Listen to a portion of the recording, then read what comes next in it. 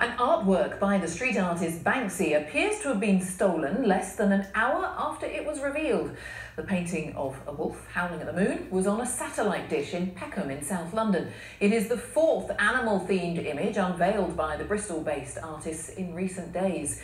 Azadeh Moshiri has the story. A lone wolf howling to the skies via satellite. A fourth artwork revealed by Banksy, part of a week of animal themed surprises. But then this happened. Armed with a ladder, several men grab the dish and casually walk off. But was it theft or a stunt? His press team have told the BBC they, in their words, believed it had been stolen. Oh, that's.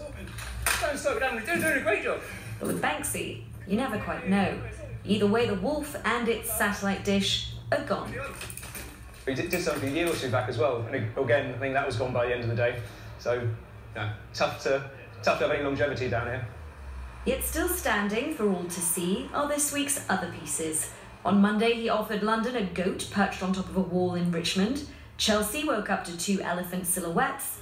And on Wednesday, three monkeys appearing to swing on a railway bridge appeared in Brick Lane. He claimed credit for all of them on his Instagram profile. Silence from Banksy as usual on what all of this actually means and what we can expect next.